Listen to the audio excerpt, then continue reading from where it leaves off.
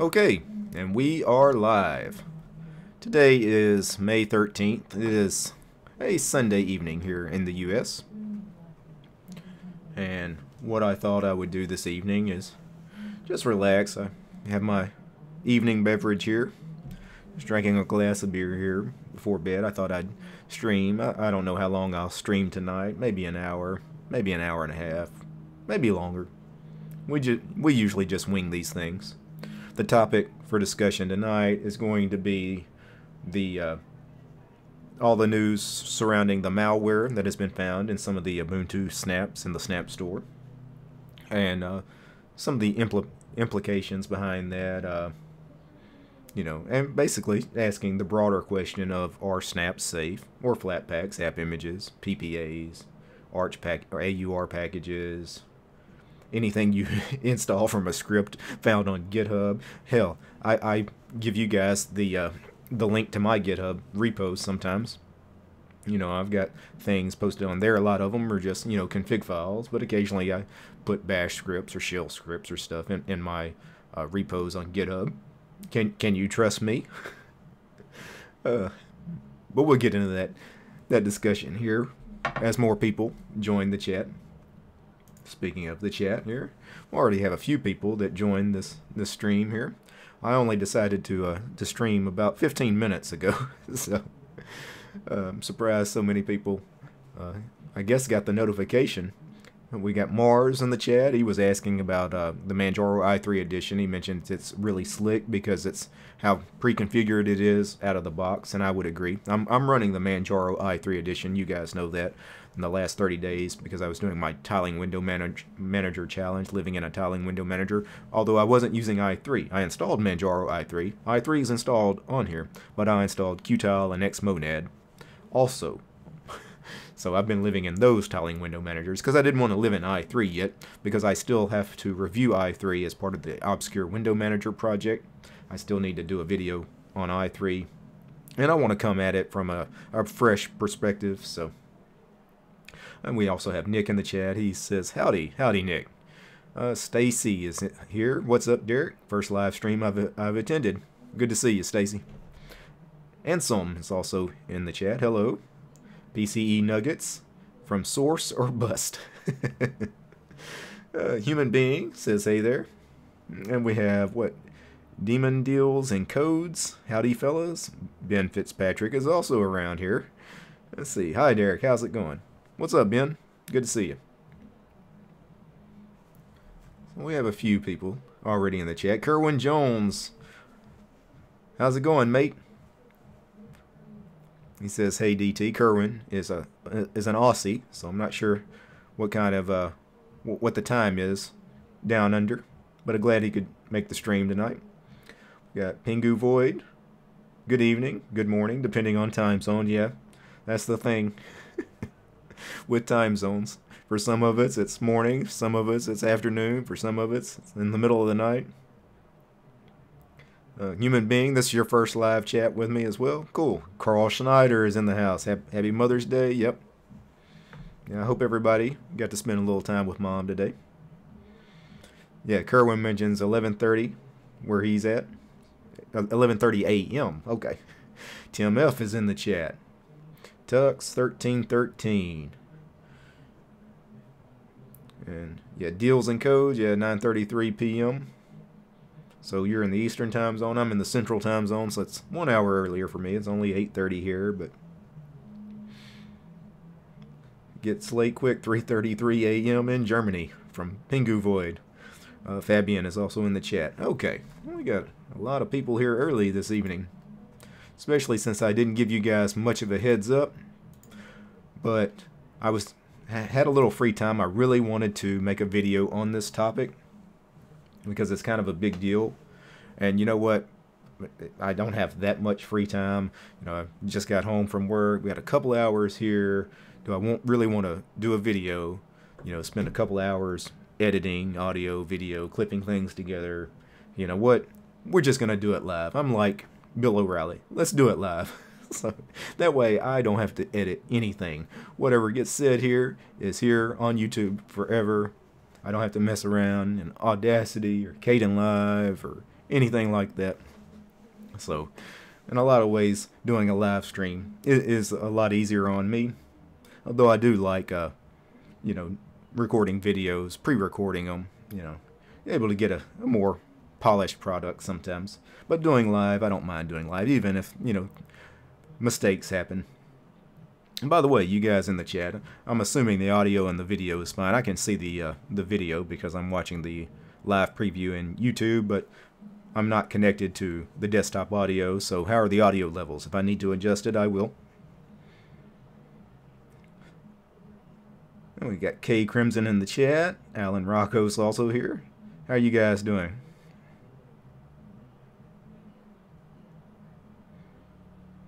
All right.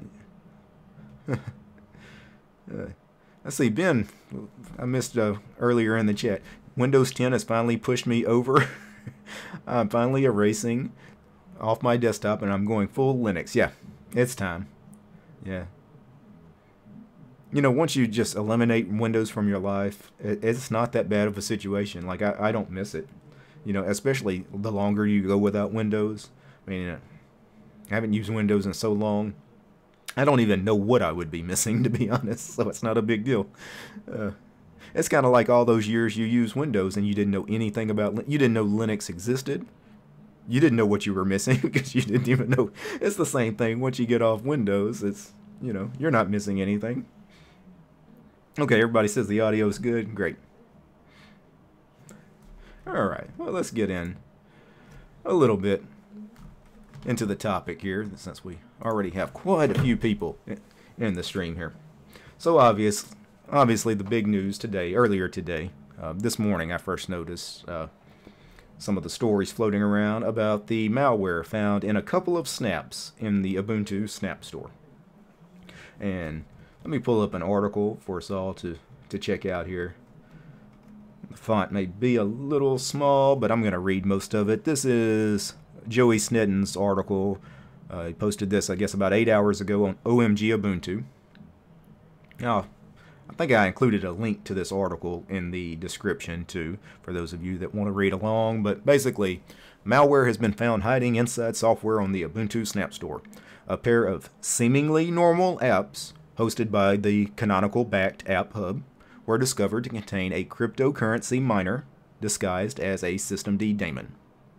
So basically, what this guy did, he uploaded two, you know, seemingly normal apps, but in in the code, he hid a cryptocurrency miner. He disguised it as a systemd daemon, so he named it systemd something another. So you know, if you guys were looking at system processes, say you opened up HTOP, looking at some of the processes running, uh, instead of seeing something like cryptocurrency miner running, you see something named systemd something another, and you think, oh, it's just a systemd process that's always running in the background. No big deal. No, it, it is kind of a big deal. He was using your system resources basically to mine for Bitcoin. so, or whatever cryptocurrency was mine. It was probably Bitcoin. I, I didn't research it to see exactly what he was trying to mine. Looks like uh, he had also in his code included an init script so that this auto loaded. So you start your machine, boom, it starts uh, mining for cryptocurrency right away. And for most people, they're never going to find this in the code. They're never going to, you know, again, you look at your processes, you're not going to think anything about, you know, why this systemd daemon is running. You just think, well, it's just one of the many parts of systemd I don't know anything about. It's running in the background. uh, I know some people love to hate on systemd. I don't want to start a anything about systemd as far as the hate, but because uh, I actually quite like systemd. Anyway, reading a little further, the code on these two apps in the Snap Store, there was a guy that found the malicious code.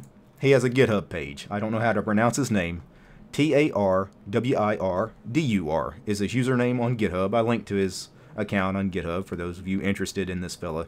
I don't know if you know anything about him, but this particular user found the malicious code in one of the uh, programs on the Snap Store. It was both programs were games, and he found this malicious code in a game that was a, basically a ripoff of 2048. 2048.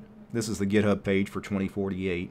I won't link this in the in the description because I don't want any confusion. This is not the malicious app. This is a game that's been around for a little while called 2048 where you join numbers, you get to the 2048 tile. I don't know, some kind of puzzle game. I've never played it. Popular game though called 2048, licensed under the MIT license.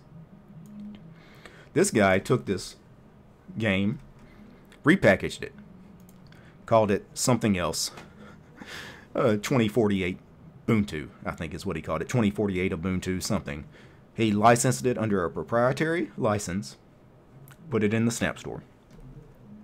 And that was perfectly legal for him to do that because the MIT license is a very permissive license. It lets you take, you know, this game 2048, which is licensed under a free license, the MIT license, but you can take that, fork it, do whatever you want with it, and repackage it, put it under a proprietary license, make it closed source. The MIT license allows you to do that. A, a lot of free licenses, unfortunately, allow you to do that. Some of these very permissive licenses, the GPL license restricts you from doing that. This is one of the big things that you know Richard Stallman is out there preaching about. That's why he created the GPL. That's why the GPL has so many uh, restrictions. That's why the GPL is a little bit of a longer license because it restricts people from doing what this guy did. We'll get into that later though.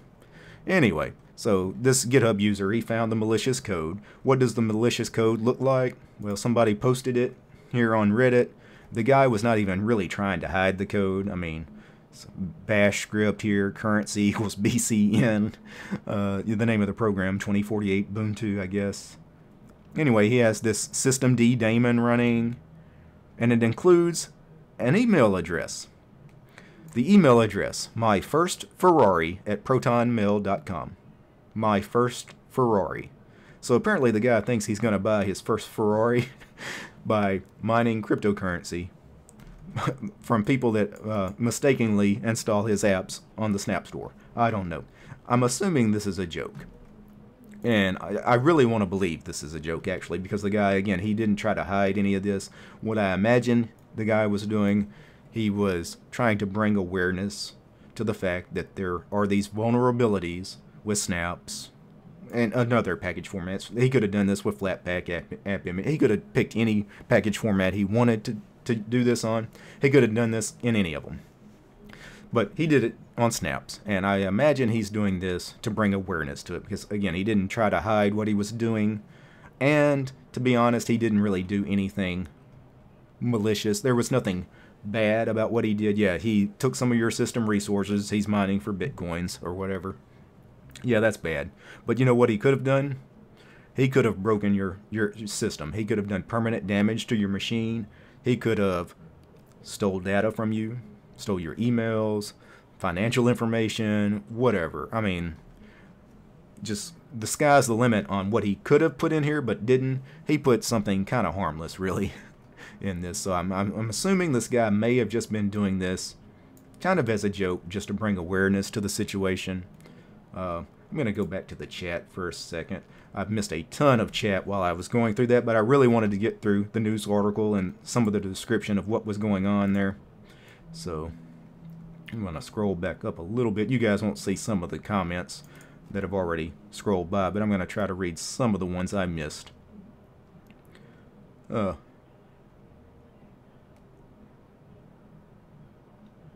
uh, let's see. Yeah, so a lot of comments about Ubuntu. Alan Rocco mentions mentions damn Ubuntu. It's not it's not anything that's really the fault of Ubuntu, and we'll get into that. It's not the fault of Systemd. I knew I was going to receive a ton of stuff about Systemd here. Uh, let's see. Where is the lead dev of Void? We'll get into that topic later. And somebody mentions he, he might be a ditch some in a ditch somewhere. That's possible. When you don't hear from somebody in months, they could be deceased. They could be in jail. They could have serious health issues. There's no telling what happened to the guy. We're going to get into the GPL license. Jick, uh, I'm sorry, Nick Knupp mentions only use the GPL. Yeah. Um, some of these very permissive licenses, free licenses, they're too permissive. Things like the MIT license, I think the BSD license is very similar. Um, they allow people to do too much. Where the GPL says this was free software when you got it. It's got to be free software when you pass it on to the next person, etc., etc. You cannot add any further restrictions than what's already been, you know. You can't make it closed source. You can't do any of that with something that's licensed under under the GPL, and that's legally binding. You could take somebody to court if they played with the GPL in a way that wasn't compliant. So, oh, Mr. Go F yourself is in the chat. He says, "Hey DT, hey Mr. F." Uh, let's see. We got some Debian love from Real Talk and Pingu Void. Yeah, I'm a big Debian fan, long time Debian user. One of my favorite distros. And some Arch i3 love. Does every Arch user use i3? It's strange. I mean, that should be like the default desktop for Arch you know, instead of having, you know, you install Arch and you come to a command prompt and you have to choose what desktop environment or window manager install, Arch should just install i3 by default because I've never met an Arch user that was running anything other than i3. It's strange. Oh. Mint is awesome. Pingu Void, yeah. yeah my squeezing arm running CentOS KDE. Very cool. It's another rock solid, stable distro, very similar to uh, Debian in that respect as far as how stable CentOS is. Of course, Ben, Ben uses Arch Gentoo, Linux from scratch. He doesn't use a window manager. He uses XFCE. XFCE is very nice. All right, so I was, see, did I miss anything here? I, I, went through that very quickly here. The names of the programs again uh, that the guy put was uh, 2048 Ubuntu, and the name of the other one was Hextris. It was very similar in name to Tetris, so it might have been a, like a Tetris game. I'm not sure, but anyway, they were very simple apps. He basically took something that he could, you know, rip off. It's licensed under the MIT license. I can take it. Name it something else. Make it a proprietary license, and that is one of the reasons why Canonical didn't find it. Now, even if he had made it open source, Canonical's not finding this code because, quite frankly, nobody uh, vets the packages in these repos. Uh, the only vetting that Canonical, or actually most distros do, they have some kind of automatic testing to ensure that the program installs correctly and will work. And if it passes that, it's good to go. Uh, now, in your core repo, like the core apps, like Ubuntu has a core repo, Arch has a core repo, yeah, there's more vetting done on those because that stuff, a lot of that stuff is actually installed on your machine by default when you get it. They want to make sure that they have that stuff squared away. But a lot of the stuff in the extra repos, the community repos, snaps, flatpaks, PPAs, AUR, etc. Nobody's vetting that. There's just nobody around to vet that. It would take thousands of people to go through all these snap packages, go line by line, to search for malicious code. No one's going to do that. Whose job is it then to do that? Well, to be honest, it's your job. uh, anything that's not in your core repos, any third-party software you install in an extra repo, a community repo, anything you use universal formats like Snap, Flatpak, app images, anything that you add repos, extra repos like PPAs, your AUR package builds, Gentoo overlays, etc. You are responsible for that stuff. Canonical is not responsible for it. Red Hat, uh, Arch, whoever, whoever you, what distro you run, you are responsible for that. You went out and sought that software out. You installed it on your machine you need to do the vetting. You need to, if you can, check out the source code. If you can't check out the source code because it's proprietary software, you might want to think twice about why you're installing that program to begin with. Like this very simple game, this 2048 game this guy had, uh, the real 2048 game is licensed under free software, the MIT license. Why wouldn't you install that? Why are you installing the proprietary version of that? Now, Again, that's assuming most people know about the difference in these licenses and care. Unfortunately, not a lot of people even know what proprietary and free and open source and all that stuff means. Even Linux users, a lot of them don't know about that stuff. Probably wouldn't care even if they did know about like the difference in licensing. But for those of you that do know better, yeah, stick to open source software. The proprietary garbage out there, especially you have two pieces of software, basically do the same thing. One of them's open source, one of them's closed source. Install the open source one. There's no reason to ever install the closed source one. So when, when you've got alternatives, free and open source alternatives. I don't want to sound like Richard Stallman. I don't want to get on my Richard Stallman rant and, and get on that, like the GPL license versus MIT and BSD and Apache license and all that. But you know what? In a lot of ways, the GPL license is the perfect license. But I'm going to start sounding like a Free Software Foundation cheerleader. so I'm going to get back to the chat for a minute. See what I miss. A lot of chat going by. I'm sorry if I missed some of the. Yeah, Tux gave the name of the programs 2048 Ubuntu and Hextris. Yep. Uh, ben Fitz, Fitzpatrick, I've tried window managers. They're just too rough for me. No matter how I configure run them, they're just not for me. I stick with XFCE. Nothing wrong with XFCE. You use what works. Ultimately, that's what I tell everybody. Use what works. If you like where you're at, you know, don't hop. Hmm. Let's see. Toss is in the chat. Ubuntu malware. Welcome to the beginning of the year of the Linux desktop. Yeah, it's just what we need, you know, another negative story about Linux. But you know what? A lot of the mainstream stories about Linux, a lot of them tend to be negative. I've noticed that about, you know, mainstream press especially. Rarely do they highlight the positives that are going on with free and open source software and Linux in general. Uh, it, it tends to be the negative stories that really garner the attention. Mark Yates is in the house. How's it going, Mark? checked out a couple of your videos, Mark, you guys might want to check out. He just started a YouTube channel. He's posted a couple of videos recently. Uh, Present Arms is in the chat. He just got the notification. Yeah. Yeah, I didn't give you guys much heads up on this stream. Sorry about that. Yeah, and that's why the AUR is dangerous in the wrong hands. Yeah. And people, you know, when you go to like Ubuntu's website and the forums, they always warn you about PPAs. Anytime you mention the AUR in the Arch forums, they always warn you the AUR is not safe. Now, every person I know that runs Ubuntu adds PPAs. Every person I know that runs Arch uses the AUR. Uh, yes, they're not safe, but you have to be smart about it. Uh, same thing with snaps. I often install GIMP as a snap package. You know why? I trust GIMP. The GIMP team is not going to install malware, sp spyware, some Trojan or keylogger on my system. I trust GIMP.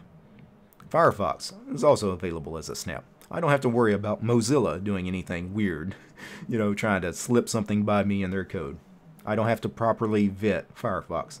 I trust Firefox as a snap.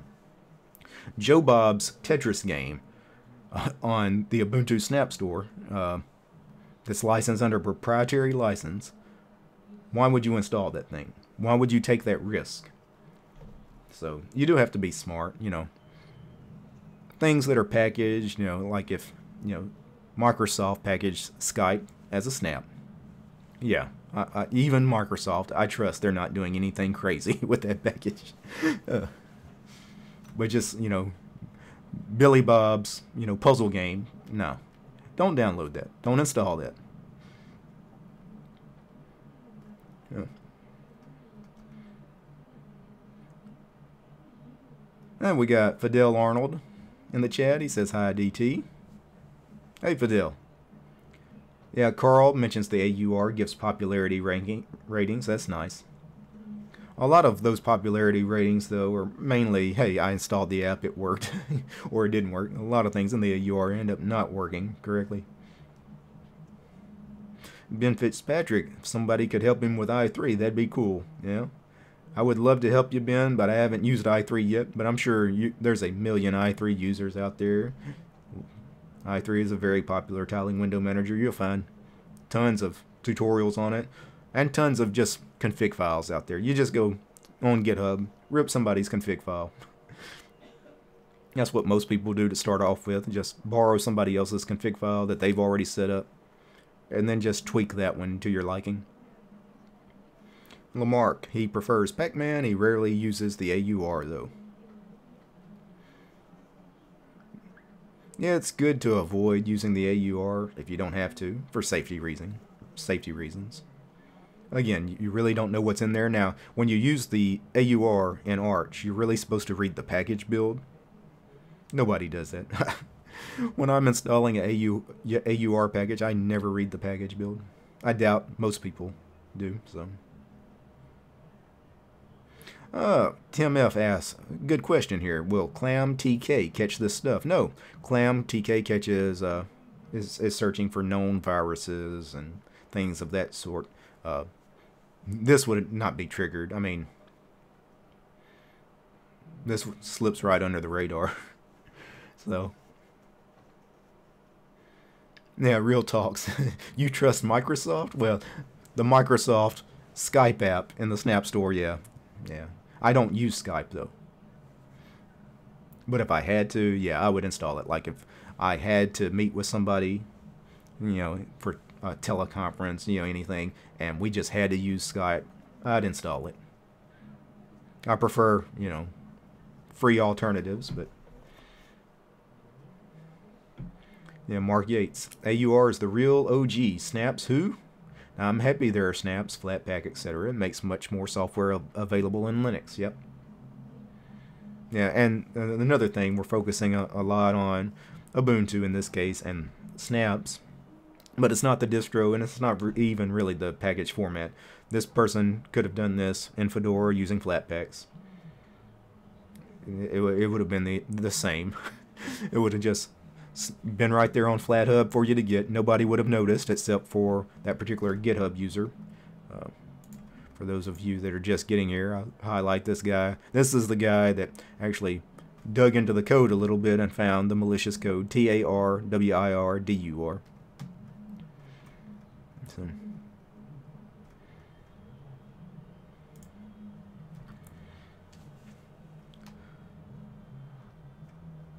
Toss mentions he fixed Brasero so he can burn CDs now. That's great, Toss. uh, I'm not sure where you would uh, find a CD player now, though, because CDs are kind of like 20 years ago, but that's great. You you got them up and running. of course, I, I joke. I actually have a CD changer in my car still, so I do actually burn CDs. I have, you know,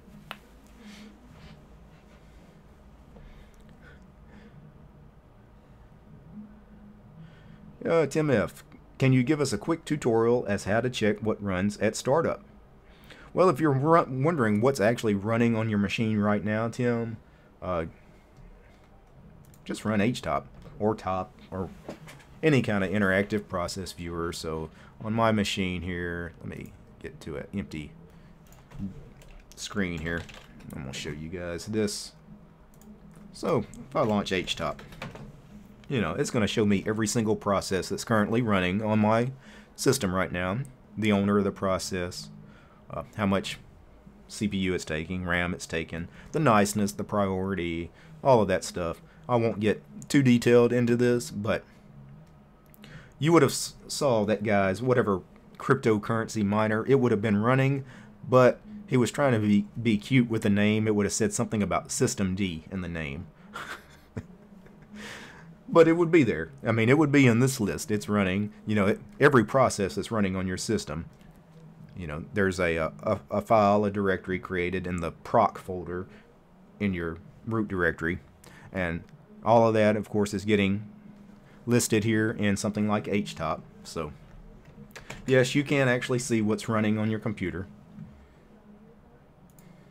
Now, what you do with it that information. Again you would actually have to know what some of those processes are doing. So th this guy again he named it systemd, whatever. You know most people are not gonna think nothing of it. It would have taken a little bit more investigating as, as what that process actually is. Yeah uh, we're getting back to ClamAV and ClamTK ClamTK is the GUI front end to ClamAV. ClamAV runs in the terminal. But ClamAV uses virus definitions. Yep, right. somebody actually has to say this is a virus, this is what that virus looks like, here's the code for it, gets submitted. Yeah, then when you run your ClamAV scan, which is in the terminal, you type clamscan. Yeah, if it finds that particular code somewhere, yeah, it would be triggered. But this was not something that, you know, is known.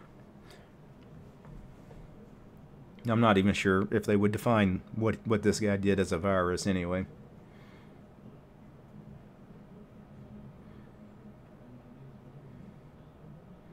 Yeah, and other top programs. Yeah, I mentioned any kind of interactive process viewer. We have GTOP, A- ATOP, VTOP, yep, K Crimson, or just the standard top program in the terminal. There's a lot of ways to figure out what processes are running on your machine. And I didn't even mention the GUI uh, process viewers. You guys running GNOME and KDE and all that. Uh, your system monitor has a, uh, a processes tab that will also show you what's currently running on your machine as far as every process, who created it, etc. Yeah, Glances is another cool program. While we're talking about this, see, Glances. I think I have that hotkeyed somewhere. Is this Glances? Yeah, this is Glances. Similar to HTOP, shows similar information, just kind of a different layout. So we got at the top, you know, CPU, MEM, swap, uh, user, system idle, some memory stuff, load, network, disk I/O, file system, sensors, and then of course here is our interactive processes, uh, CPU percent memory, vert, res, PID, process ID, the user, the user that created that process, etc., etc. Glances is a nice program.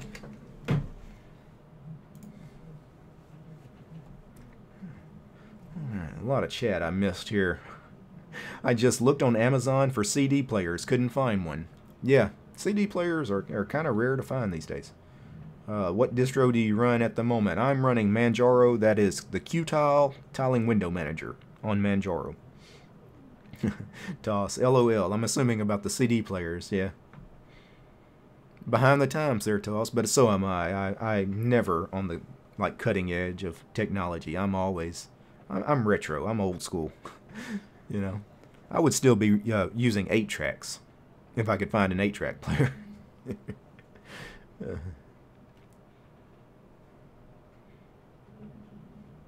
Right, and he's mentioning uh, K Crimson's trying to clarify. Yeah, that was running as a systemd service using a name, systemd something another, so it's disguised as a systemd component. Yeah.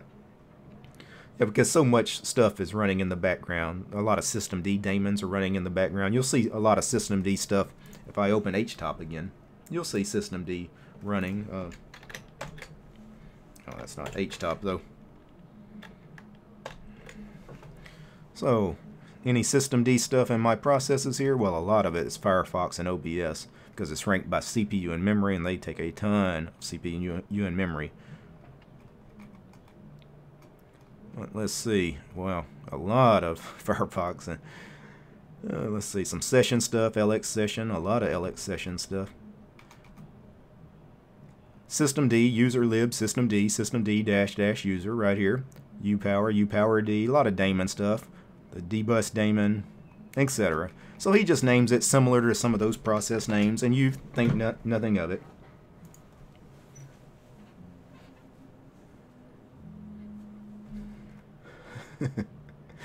uh, have I considered starting a LFS series? So uh, Linux from scratch? No, I haven't. It would take a long time to get Linux from scratch installed, especially I, would have to do it probably in a VM. I couldn't give it my full system resources. It would take forever, I mean weeks to get through that install. And then, uh, you know, to cut it down, all the video editing would be a massive undertaking. And I'm not sure that many people would be interested in it, to be honest. I don't know, though. I won't completely rule it out, but at least right now, probably not. Uh, Stacy found CDs though. Yeah, you can find CDs in Best Buy. I was in Best Buy the other day. They still have a, like a shelf, you know, with nothing but CDs and DVDs, rewritable CDs and DVDs. So you can still buy them. People still burn them. Apparently, people don't play them though, because you won't find CD players. Uh, Mark Yates, he loves the channel overlay. Thank you. Yeah, it's a very nice touch. Simple is best, yeah. I'm not really much with graphics, and and you know I did all this in GIMP or whatever, but I like to keep things simple. I don't like too much clutter. Uh, Lamarck, what do you think about Manjaro being recommended to a new user, DistroTube? I don't think Manjaro should be your very first distro. It's Arch based, it's still a rolling release. Things are going to break on you. You're going to have little minor breakages. I know some people say, well, I've run Arch for five years and I've never had anything break on me. Well, they're meaning maybe they ran Arch for five years and they didn't have anything serious like a kernel panic or anything that, you know, just completely bricked their machine. Yeah. But how many times did you update and Pulse Audio no longer work correctly? Or Grub get boogered up in some way where you had to fix Grub or, you know, your NVIDIA drivers, you know, weren't working correctly when you upgraded or updated. You know, yeah, you were able to fix those, but let's not pretend like you never had any breakages along the way. And for a new user, a brand new user to Linux, they're going to have no idea how to fix any of that. So I wouldn't recommend a rolling release distro of any kind for a new user.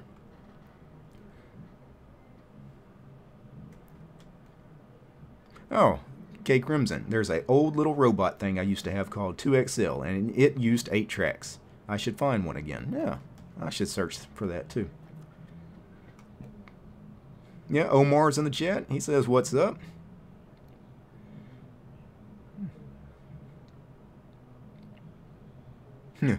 Tim F. I listened to the Minnesota Twins ball games on a portable tube radio made in 1952. Old school rocks. Very cool. Pusang is in the chat. Hello all. He's AFK but listening. Yeah, this is why I like PC Linux OS. Just run Drac, DrakX services. You know what's running at a glance. Yeah. William, Linux from scratch is for nuts. Sorry, guys. Well, I don't know if it's for nuts. Most people use something like Linux from, from scratch uh, as a learning experience. Nobody re really chooses to run Linux from scratch. I mean, I say that. There are people that do, but it's not really meant to be like your daily driver, you know. Again, it's more of an educational thing. Present Arms. Yeah, Linux from scratch is fun. I did it in, in a VM once. Yeah. Not me. I say I, I'm probably not going to do it. You know, maybe I'll do it one day. I don't know. If I decided to do it, of course, I would do it for the channel. It's not something I would personally just choose to do on my own. I just don't have that kind of time. It's not something that really interests me, to be honest. Because you go through this, yeah, you, maybe you learn a little something along the way, but at the end, what do you got? You're not actually going to use that Linux distro that you've created. Uh, yeah, L LFS is Linux from scratch.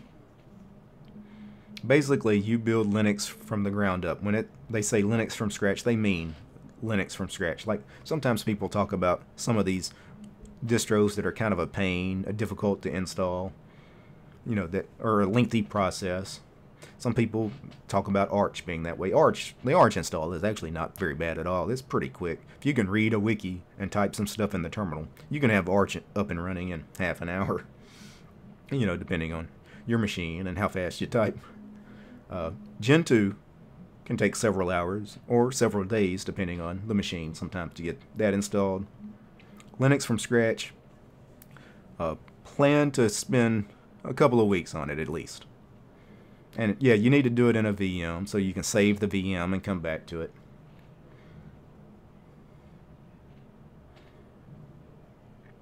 Yeah, K Crimson. I had issues installing PC Linux OS a while back. Live Disk didn't like my machine. I've only taken a look at PC Linux OS one time. I looked at it on the channel. It was an okay distro. The only thing that I had a problem with is installing it in, inside VirtualBox. I could not get Grub to install properly. Grub 2. Oddly enough, I could get Grub 1, the older Grub, to install. Grub 2, for some reason, would not install. Alan Rocco, too much pain, Linux from scratch. Yeah. Yeah.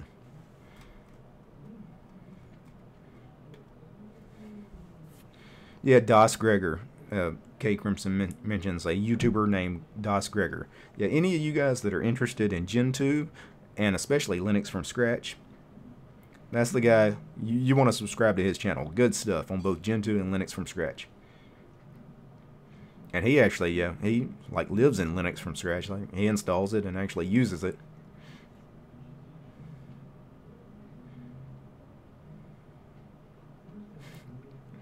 uh. Uh, Sven Leckman is in the chat. Hello, DT. Hello to all. Hey, Sven. He bought a new PC. He got the AMD Ryzen 1700X, 16 gigs of RAM, and a Radeon RX 480 with 8 gigs of graphics, G, uh, GDDR5 graphics. Very cool. First, he wiped out Windows 10. Very cool. For now, I am on Ubuntu 18.04. Also very cool. Sven, you're a cool guy. Uh, honestly, Derek, I'm kind of wanting to buy all my next songs and albums on CD if I can, and then burn to my computer so I own my stuff. Yeah. Well, you don't even have to do all that. I mean, now you can buy them all digital. You know, just buy them off of Amazon or whatever you use. Just get the digital versions of those songs, the MP3s or whatever, the FLACs, whatever they sell them as. That way, you don't have to bother buying a CD, ripping them from the CD, unless you want the physical CD. The problem with physical CDs, if you have a ton of music, you end up with a lot of CDs. Like I have a hard drive, an external hard drive, actually SSD drive, that I have 130 gigs of music saved to. Most of it's classical music. Being a classical mu musician, that's a uh, kind of my trade back in the day. I'm a classically trained trombonist. It's my main instrument. So I have you know, studied a lot of music composition, music history. So I set out to basically, like every major composer I could think of, collect recordings of every work they ever did. Just to have a library of it. Anytime I was playing something, I wanted to check it out. I had a recording. Uh, so 130 gigs of classical music. Now, if I had all that on CDs, uh, I mean, it, it would fill fill a room. I think the time, the runtime on that 130 gigs of music is, uh, I forget what the hour runtime was. It was over a thousand hours of runtime.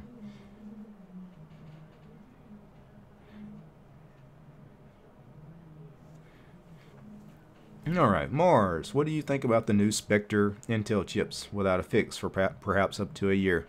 Yeah, that's unfortunate. Intel is really uh, they're dropping the ball. What we really need is more open hardware. That's what I would hope would eventually come about of all this.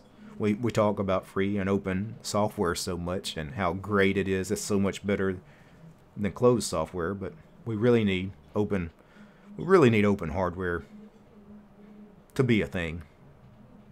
Sadly, it's it's not really a thing yet.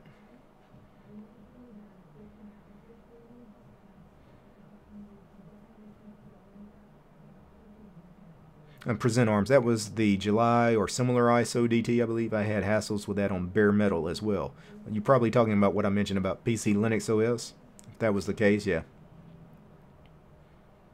Q1 Fiend is in the chat. I thought about installing Gentoo just to see the horror show of days compiling. Well, it depends on your machine. If you have a top-end machine with a, a, really good CPU, multi-core CPU, uh, the the run the uh, install time is not too bad. I mean, several hours still.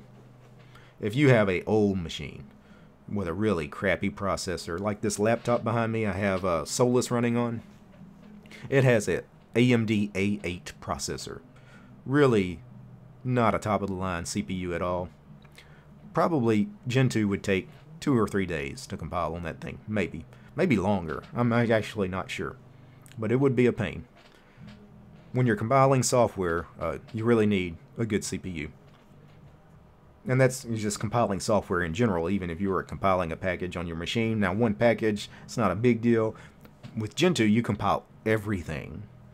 So you're talking about very long wait times, especially, you know, big packages, like compiling the kernel, which is millions of lines of code.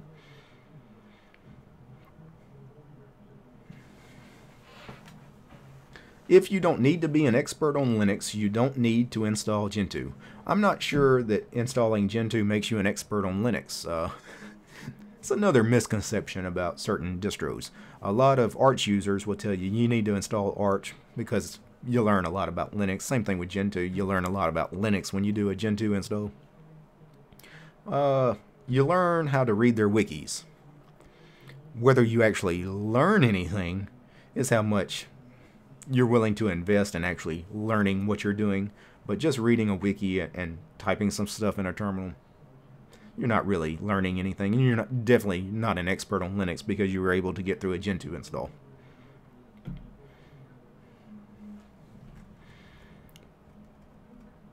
A lot of chat here. So I'm sorry, I, I probably miss some of you guys here. Scrolling kind of fast. I know on my uh, OBS screen, what you guys are seeing, you know, it's, it's going by kind of fast. A lot of people in the chat this evening. All right. I'm going to take a sip of my beverage. Now I'll try to catch up on some of the chat here.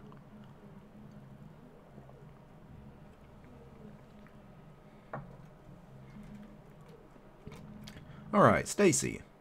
Are the new AMD graphics and processors good with Linux? Yep. Yeah, AMD is great with Linux.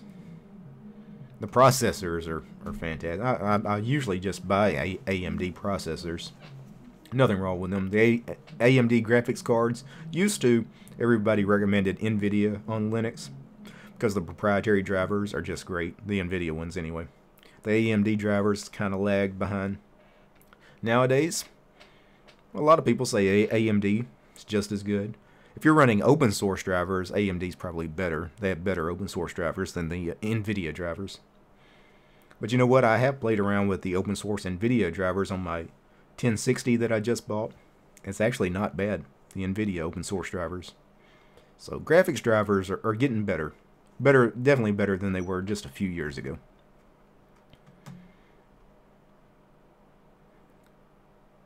All right. I've got the chat kind of jumping around here. It's hard for me to keep up with where I was at. Uh, I have three one terabytes external of music. So you have three one terabyte drives and they're all full of music? Or surely not. That's a lot of music. I thought I had a lot with 130 gigs.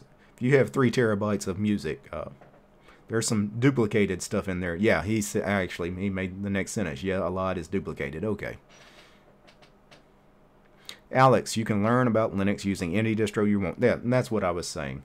Uh, if you want to run Arch and don't want to take the time to learn anything about Linux, you can. If you want to run something like Ubuntu or Elementary or Mint, and you want to really dig deep and learn everything there is to, to, to know about Linux, you can do that on those distros. Uh, the install process really doesn't teach you that much about what Linux is, what Linux all is all about. So, going through a hard installation doesn't really, you know, you're not certified as a Linux master. Although, don't tell that to some of the Arch fanboys. I've seen some of the kids in the forums. They're so proud that they got through that Arch install. You know.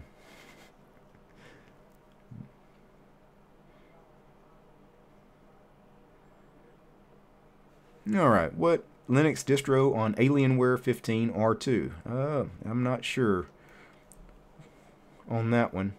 Never had Alienware.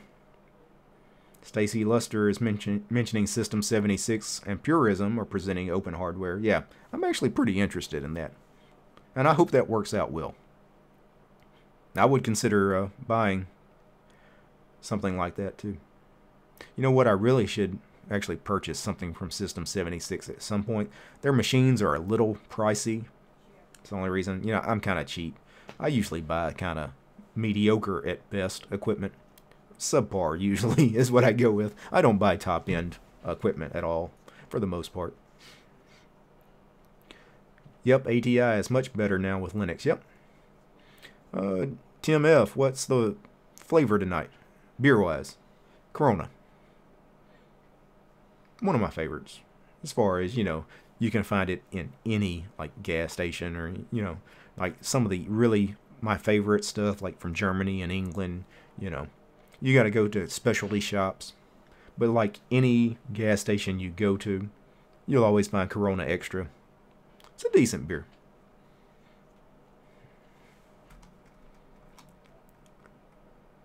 Yeah, Stacy Luster asked several hours to install Gentoo question mark. Yeah. Yeah. You better uh, have a day set aside. Your whole the whole day at least. And again, it might it might bleed over into day 2 or day 3 in some cases. So a lot of folks talking about their music collections, very large, about formats, uh, MP3 and FLAC. I, I wish my 130 gigs of classical music was all FLAC. It's not. Some of it is, but most of it's MP3. And there is a difference, especially with something like classical music. You can really tell the difference between something like FLAC versus MP3. Because MP3, of course, is a compressed format. It's just not as good. And Toss. talking to Tim F. He could jump on for a few, I suppose, have no topic or notes, but who cares? That's the spirit, Toss. Most of the time, I don't have a topic planned, and I do these streams. And notes. Man, you, you do notes? You do prep work? I've never done any prep work for a stream. uh. I know the next response is going to be it shows from Toss. uh, Sven mentions to learn Linux, just get into it. Surely you will fall, but it's just how strong you will stand up. Yeah, really, really to, to learn Linux, buy a book. I mean, yeah, just start reading, eh, read online, read wikis, you know, just and play around. You know, VMs are a great way to learn Linux because you if you damage the VM, so what? Hmm. And Stacy, thanks, Derek. I'll keep that in mind. Still, though, for my usage, I'll stick with my new old reliable, the 2014 Asus. Is that the X555 LA laptop? Yeah. So you got about a four-year-old Asus, yeah. My, that's about a four-year-old uh, Toshiba behind me, Toshiba satellite. Not a great machine, but it's it works. Again, I, I buy the cheapest things going. Yeah, Tim L, if you're drinking Newcastle, I love Newcastle. Now that's one I can often find in gas stations too. Not every gas station, but it, it's it's popular enough. Yeah, I can find Newcastle pretty much anywhere. iCubic mentions Ubuntu has gone to shambles. Well, I don't know. I don't know if if uh, Ubuntu can really do anything about some of this. If somebody wants to package something and put something crazy in it, anybody can do it. Again, this wasn't like something in the Ubuntu core repos either. Yeah, so we have to qualify this a little bit.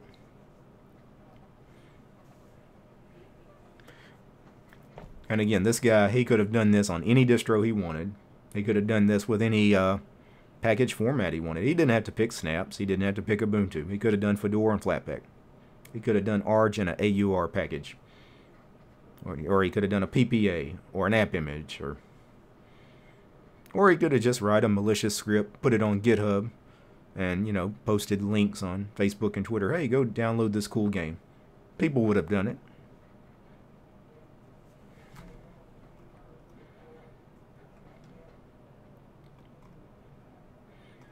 And K Crimson is giving us some advice here. Make sure your etc slash pulse slash daemon dot config is set right so you can appreciate FLAC better.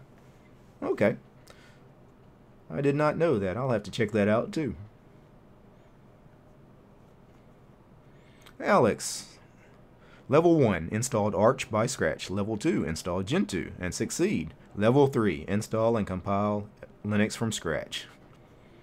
Yeah, that's a good game plan. Yeah, Stacy mentions my line, just use what works. Yeah. Yeah. It's like uh, when I started this channel, this uh, my main production machine, I was running Ubuntu 1604, you know, the old LTS. Why? Because it was a 15 minute install when I installed it and it just worked. And once I had something up and it's, it just works, I don't hop. I'm not really, the, I mean, I know I hop a lot on the channel, but I'm not really a hopper. I'm not just itching to wipe out my machine and go through the trouble of restoring, you know, backing up and restore. That, that's a lot of time, especially for something I've already got set up and working exactly the way I want it. So, for me, it doesn't matter. You know, Ubuntu, Arch, Gentoo, Fedora, whatever. Give me a distro. As long as it works, I'm sticking with it. Of course, a lot of it has to do with the fact that I use these minimal window managers. You guys know how much I love OpenBox and Qtile, Xmonad. And when you use the, these minimal window managers with your own personal configs, you can pick any distro on the DistroWatch Top 100. And when I install my OpenBox desktop with my configs, it's going to function the exact same way on any of those 100 distros you would never tell the difference. The only time you will notice you're running whatever distro you're running is when you actually have to open a terminal and maybe do something with the package manager. Because then, you know, package management is a little different, you know, apt, pacman, emerge, dnf, etc. Other than that, exactly the same. Now, you guys that are running full desktop environments like GNOME, KDE, XFCE, you guys notice differences because not everybody's GNOME is the same as the next guy's GNOME because nobody is really shipping vanilla GNOME except Arch and Fedora to some extent. But, you know, Ubuntu adds extensions. You know, they add their own wallpapers and theming and everything, and so does SUSE, Sabayon, name whatever GNOME distro Antergos. And, you know, they do their own thing with GNOME. So everybody's GNOME edition is a little different because that's their vision of GNOME or KDE or whatever. You know, when I install OpenBox or Xmonad or Qtile or i3 or whatever, you know, that's nobody else's version of i3. That's the configs that I wrote, that I put on my GitHub page, I pulled down, you know. And that's going to look the same regardless of the distro.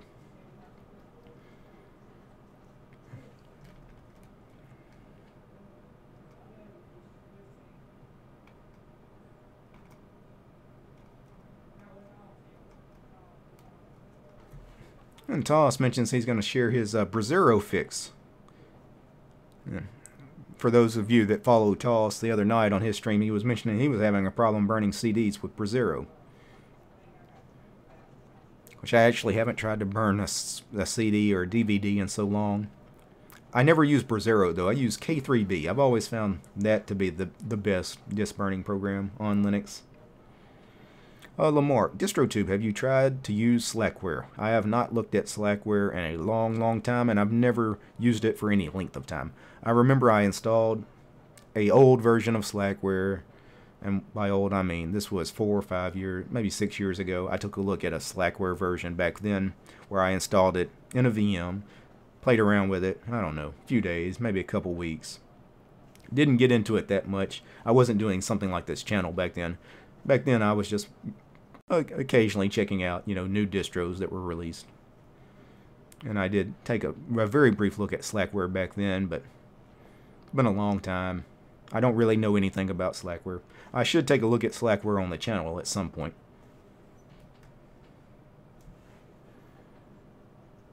Yeah, Stacy mentions about his four-year-old laptops. Four years, still kicking. Sadly, most of these newer laptops, they make it almost impossible to repair anything. Yeah, that's the problem with laptops. Yeah, Tux. Brasero equals coasters. Yeah. A lot of times you, you burn a CD or DVD, and sometimes it even like pretends like it actually wrote it, but you go to play it, nothing. And then if it's not a rewritable CD, you know, it's basically a coaster at that point. Ron Lee is to toss. Battery would be proud of you getting Brasero running. Yeah iCubic, really the only thing I need to be happy is Emacs and the internet. And K Crimson's talking about Arch installs are easy and quick for the most part. You guys, I, I did an Arch install uh, three or four weeks ago, I think, on the channel. I did it in a VM, but the day before I actually did it on my physical hardware. I lived in Arch, if you guys recall, for about two weeks on my main production machine. So I did the Arch install on my main production machine. I couldn't record that though. So the next day, I did the same Arch install in a VM, recorded that. It's a pretty straightforward process. I mean, it's not difficult. at all. I mean, I wouldn't want to. This nobody that's a new user probably needs to do it because even though you can get through the Arch install, running Arch and maintaining Arch is not for a new user. The install though is not that bad. Hmm. Yeah, Stacy, uh, taking apart my laptop isn't going to be a walk in the park, so I just choose to run my Linux install off an external SSD, or via USB. Yeah.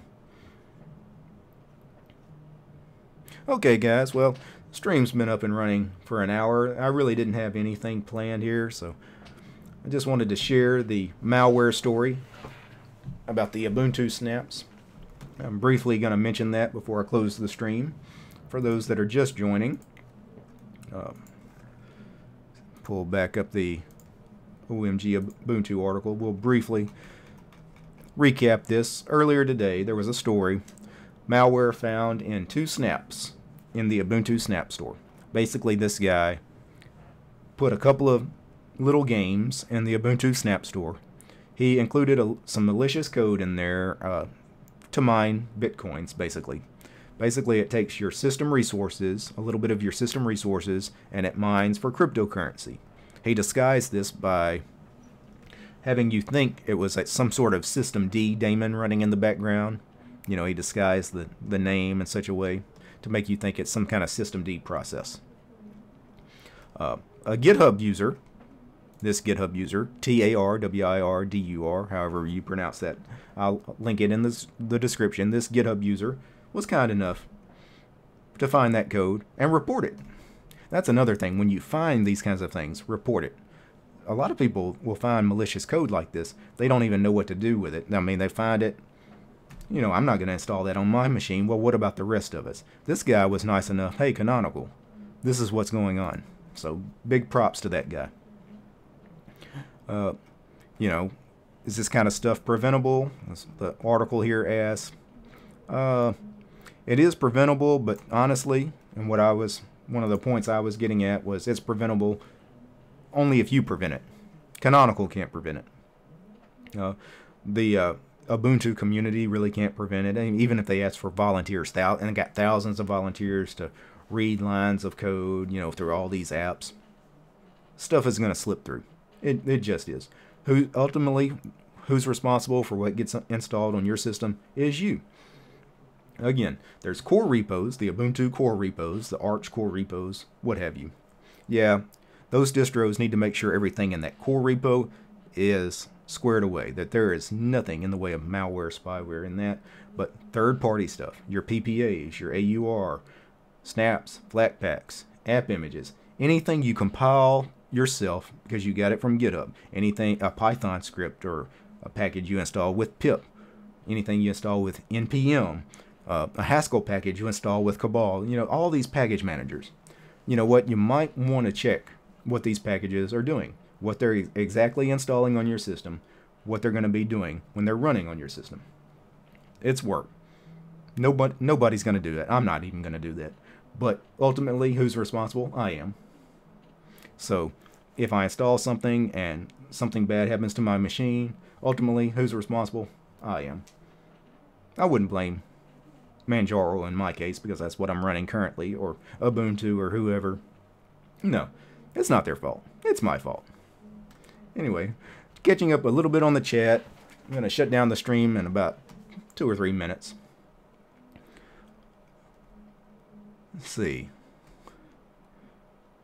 Yeah, Bill Gates mentions he read somewhere Lubuntu will be LXQt. Yeah, that's coming eventually. That, has been in the works for a while. I, would definitely say by the next LTS release of Lubuntu, it'll be on LXQt. But probably one of the interim releases before that, because you don't want to switch on the next LTS. You want to switch before the LTS so you have a, a version or two to get the bugs squared away. Yeah, Tim F. DistroTube, I just found a DVD for a Zorin 6 install. Very cool. Present arms. Not had a glitch yet. I believe the Lubuntu is switching from the GTK version to the Q. Yeah. So they're switching from LXDE, which is, yeah, GTK, to LXQt, which is cute. So. Yeah, Stacy mentions he hasn't burned a CD or DVD in a long time either. Yeah.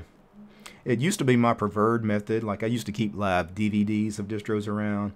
Uh, just because I had DVD, I, I burned DVDs a lot, so I had them. So I would make live DVDs of distros, you know, like for a system rescue DVD. But nowadays, most people don't have optical drives to play those, you know, to rescue their system. So unless I'm bringing an external drive, you know, USB sticks are the way to go now. Because everybody's machine is going to have at least a couple of USB ports. So, okay, Crimson, thanks for the stream. Have a good night. See you, Kay. Glad you could stop by. Tim F., thanks for another good one, Derek. Keep it up. Appreciate that, Tim. Alan Rocco, great show. Thanks, Alan. Present Arms, I installed the Community Edition of PC Linux OS and then installed Task LXQt in that. Very cool. Present Arms also excellent stream. Thanks. You guys are awesome. Especially, you know, you guys that are regular on the stream here. I mean, I didn't even give you guys a heads up. I mean, I, I, I sent out a notification 15 minutes before I hit the start stream button. And about 10 or 15 of you were here about two minutes into the stream. It's crazy. Tux 1313 DT, thanks for the heads up. Know. Yep. Ron Lee says thanks. See you later. Good to see you, Ron. Much appreciated. Yep. Thank you for the stream, Ricardo, Pusang. Optical storage safe from M EMPs. Yeah. All right. Well, I'm going to shut it down for this evening. But before I go, I do need to do a special thanks to my patrons. AK Ron, Mr. Neely, Mr. Neely Pops, John, Brian, Carl, Greg, Carlos, Rob, Matt, Darkwin, Mark, Christian, Jake, Benjamin, Steven, Marcus, Interceptor, Bob, Leor, Omar, Silvio. You guys are awesome. You guys help make this show possible. Peace, guys.